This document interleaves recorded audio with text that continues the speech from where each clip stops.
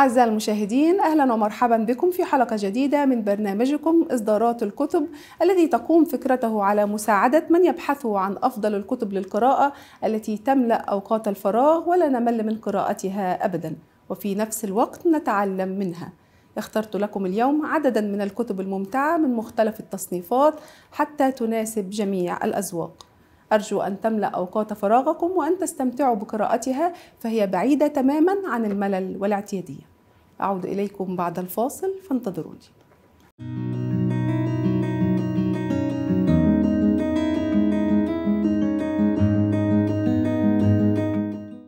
أعزائي المشاهدين نبدأ حلقتنا لهذا اليوم بكتاب صادر عن مؤسسة عبد العزيز سعود البابطين الثقافية وهو كتاب المستوفى من شعر أبي تمام ديوان حبيب ابن أوس الطائي صنعه الأستاذ الدكتور محمد مصطفى أبو الشوارب.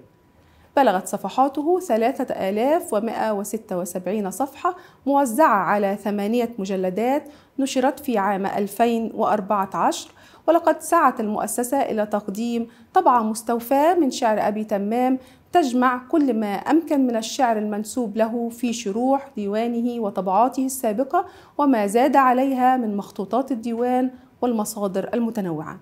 جمع هذا الكتاب 913 مقطوعة وقصيدة مما ينسب لأبي تمام بزيادة قدرها 387 قصيدة ومقطوعة.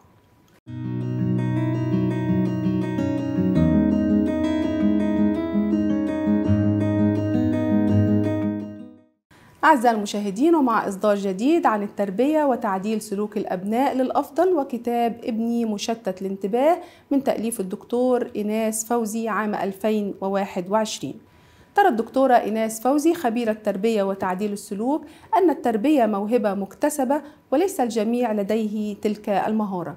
لذا فالمربون يحتاجون إلى اكتساب المزيد من العلم والمعرفة.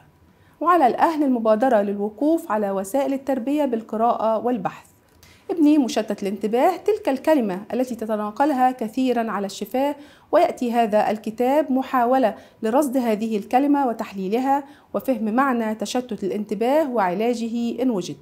آملين أن نساعد أطفالنا ونحتويهم ونحل المشكلة من جذورها وننقذهم من براثن التشتت فيحيوا مستقر النفس سعداء.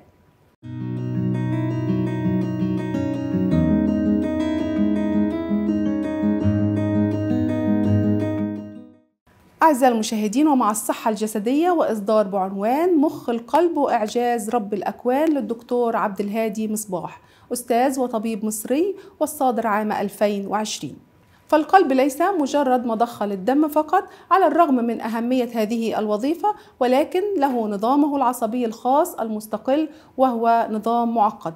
يشار إليه بمخ القلب ويحتوي على أربعين ألفا على الأقل من الخلايا العصبية بخلاف ما تم العثور عليه منها في مختلف المراكز تحت القشرة المخية من الدماغ.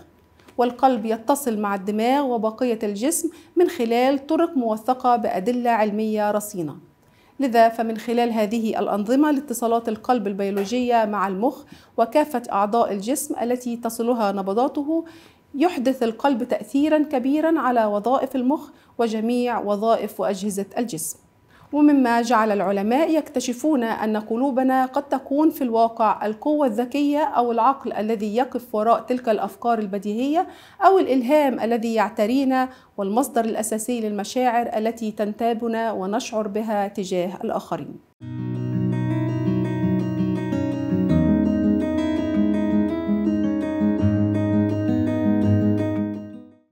ولمحبي الروايات أقدم لهم الرواية التي حازت جائزة الخنجر الذهبي كأفضل رواية جريمة وهي رواية القحط لمؤلفتها جين هاربر. ترجمة إسراء محمود ومن إصدارات عام 2022 والقحط هي أول رواية لجين هاربر وقد تم تحويلها إلى فيلم سينمائي وهي رواية تشويقية تحكي عن جريمة مروعة في بلدة صغيرة تملأها الأسرار الكبيرة. تدور أحداثها في بلدة خيالية تبعد خمس ساعات عن ملبورن يعود المحقق الفيدرالي أرون فوليك إلى مسقط رأسه بعد عقود لحضور جنازة صديق طفولته المقرب لوك. يتعاون فوليك مع محقق البلدة لمحاولة كشف الحقيقة وراء مقتل عائلة هادلر المروع فيجد سيلا من الأسئلة بدلا من الإجابات. يقول عنها ديفيد بلداتشي أنها من أكثر الأعمال التي قرأتها في حياتي سحرا كل كلمة فيها متقنة إلى حد الكمال. وجاء عنها في نيويورك تايمز أنها مفاجآت تحبس الأنفاس في كل صفحة سر جديد يكتشفه القارئ حين يبحر بين سطورها.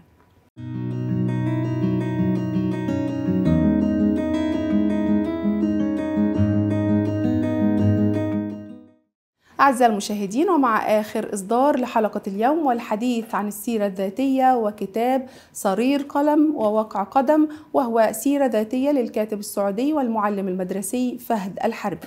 يقول الكاتب متحدثا عن كتابه إنه مذكرات معلم في رحلته التعليمية ذكرت فيه قصصا ومعاناة امالا وآلاما أحدهما مضحك والآخر محزن من داخل أروقة المدارس.